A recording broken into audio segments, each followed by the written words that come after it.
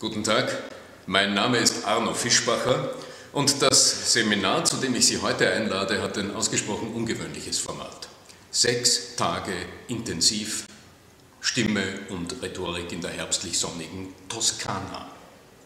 Was könnte Sie an diesem Seminar interessieren? Wenn Sie sagen, ja, sprechen ist in meinem Beruf Thema, dann sind Sie bei mir richtig.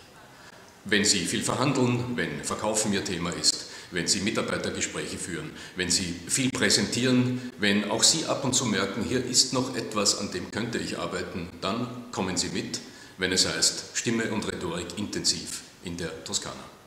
Welche Möglichkeiten stecken in Ihrer Stimme? Welche Wirkung wollen Sie stimmlich entfalten, wenn Sie reden, diskutieren oder auftreten? In unserem Seminar nützen Sie einen Blick auf den Bildschirm, um Ihre Stimme zu analysieren und zu trainieren.